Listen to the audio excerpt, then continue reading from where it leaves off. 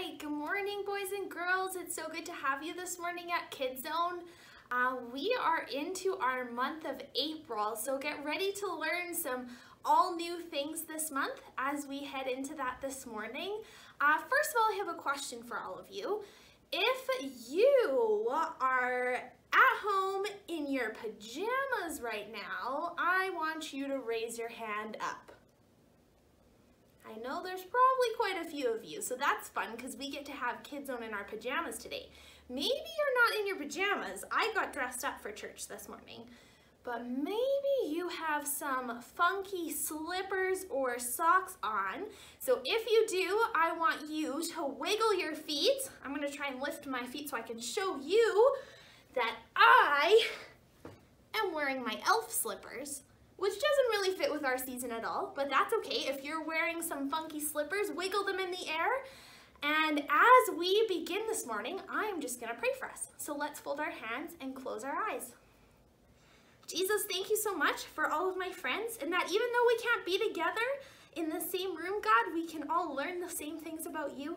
I just pray that you would speak to each of our hearts in a special way this morning. God, would we learn something new about you and your love for us and the ways that um, you went and died for each of us, Jesus. So would you just bless our time this morning, God? Thank you for it. In Jesus' name, amen.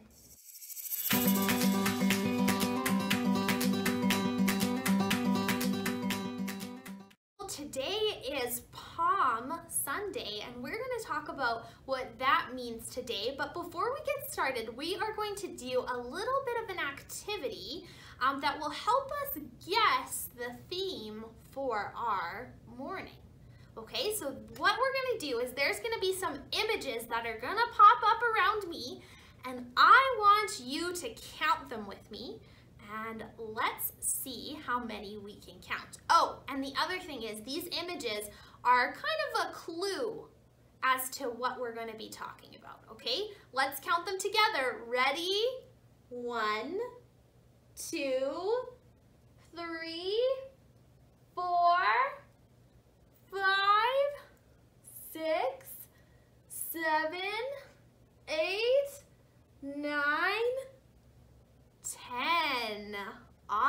Awesome. Today, we are going to be learning about how Jesus loves us. So I want you to put your hands on your heart just like this and say it with me. Ready?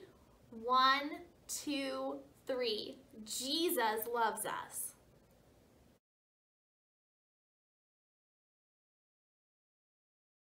Okay, so we are going to make something today that is going to help us tell our story, okay? So I'm gonna give us some instructions. I'm gonna tell you what you need, and then I would like for you guys to pause the video, sit down with your parents, get them to help you make this craft because we're gonna need it for the rest of our story today, okay?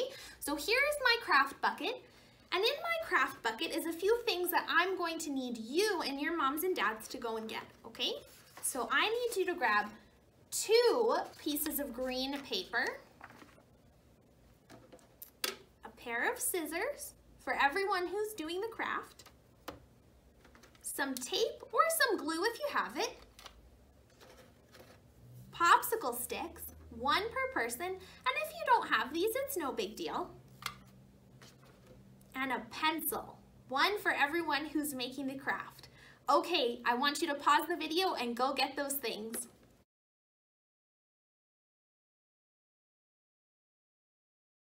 All right, so now I want you guys to trace, and I know that you're good at tracing because I've seen you all do it. I want you to trace your hands on the green paper. And you know what? If you don't have green paper, that's okay. If you have white paper, you can color it. If you have pink paper or rainbow paper, we are making palm leaves this morning because that's what the people used to praise Jesus when he rode the donkey on Palm Sunday, which is the Sunday that we, today is the Sunday that we celebrate that, okay? And so I want you to trace four of your hands, okay?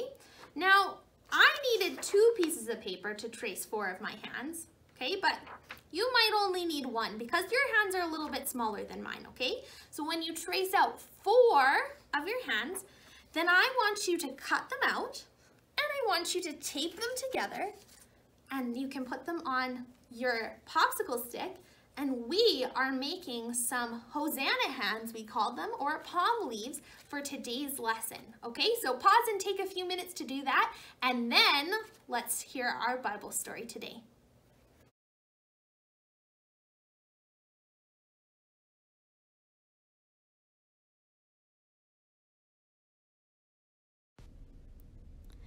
Jesus rode on a donkey into the city of Jerusalem. The people of Jerusalem started to gather along the road. Some of the people spread their coats on the ground for the donkey to walk on. Others cut branches from the palm trees and threw them down like a welcome mat. Many waved their branches in the air. The crowds shouted, Hosanna, which means save us. The crowds followed Jesus into the city like a big parade, waving their branches and praising him. They were thankful for Jesus. Okay, I know we're in the middle of our Bible story today, but I thought it would be kind of fun to act out what we just read. So, if you guys wanted to go get a couple of blankets or towels and um, go and lay them out in your living room or in your kitchen, wherever you're at, and take some time playing um, our Bible story today, okay? So we know that there were people who had their palm, the palm leaves and they were praising Jesus. And we know that Jesus rode the donkey. So maybe you're gonna pick someone in your house uh, to be Jesus riding the donkey. Maybe you're gonna pick someone to be the donkey. Maybe you're going to pick people to praise Jesus. But I want you to take turns lying out the towels, lying out the coats, and then having Jesus walk across and picturing what it would be like to yell, praise him, Hosanna, Hosanna to God in the highest. Okay, so let's take a couple minutes to play that game with our family.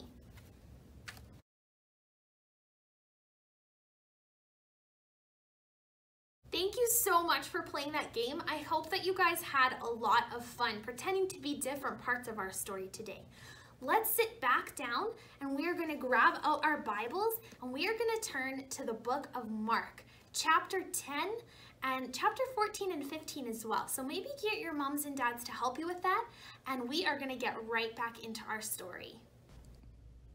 But not everyone liked Jesus. One night, Jesus and his friends, the disciples, were in a garden praying. Jesus knew the bad men were coming, and he was talking to God about it. One of Jesus' disciples, Judas, was not with Jesus. He was with the bad men. They gave Judas money to show them where Jesus was so they could arrest him without the people who liked Jesus being around him. Judas led the men to where Jesus was praying. The men arrested Jesus and led him away. They took Jesus to a leader named Caiaphas. Can you say that name? Caiaphas. Caiaphas would decide if Jesus had done wrong and how he would be punished. The bad men made up lies about Jesus. They also told Caiaphas that Jesus claimed to be the Son of God. Caiaphas sent Jesus to an even more powerful judge named Pilate. Pilate asked Jesus about the lies the people were telling about him. Jesus stayed quiet. Pilate was not sure what to do, so he let the crowd make the decision. The crowd that was there was against Jesus.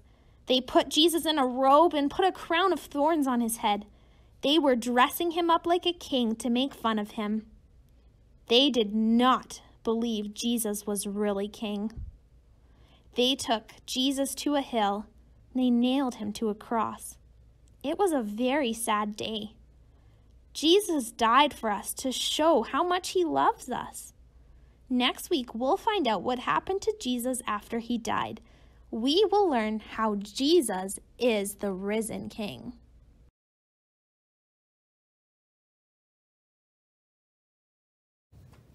Now, you've already used your palm leaves one time to play our game at, in the middle of our Bible story. Um, but we're gonna get them out again and we're gonna sing our song. Okay, so you guys have never heard this song and I'm gonna try it and sing it slowly so that we can get it. But I want you to wave your palm leaves in the air as we sing this song, okay? Now catch on, it goes something like this. Jesus rode a young donkey into Jerusalem. Ho, ho,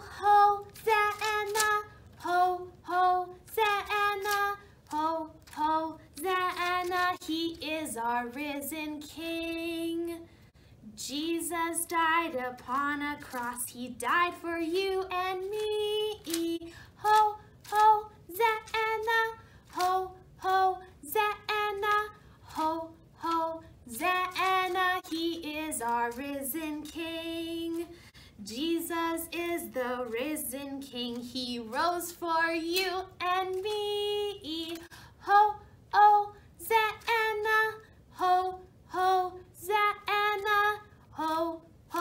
ho, Zanna. He is our risen King. Awesome, you guys sounded so good. I hope you were singing as beautifully and as loudly as you could. It was great to sing with you and worship Jesus together this morning. All right, boys and girls, I changed our background here to be our memory verse so you could take a peek and see what it says. Our memory verse is from Luke 24 verse 6. I just had to check sure and, and make sure that was right. Today we learned how Jesus was treated like a king. And we learned that people, they they laid their coats down, he rode in on a donkey, and they waved palm leaves and they shouted something. Who knows what they shouted? Can you yell it out? Ready? One, two, three. Hosanna. They shouted Hosanna. But we also know that there was some people that did not see Jesus as a king. And they actually arrested him, they hurt him, and they put him on a cross to die. They didn't see Jesus as a king. Our verse today says, he is not here, but has risen. Hmm. After Jesus died on the cross, what do you think happened? I want you to tap your head if you think you know what happened. This verse actually tells us. It says he is not here, but he has risen. Jesus came back from the dead. He's alive. And we can yell, Hosanna, because Jesus is our risen King. All right, we're gonna go back to our very first activity. Do you guys remember what we were counting? Yeah, we were counting hearts. So I want you to make a heart with your hand, just like this.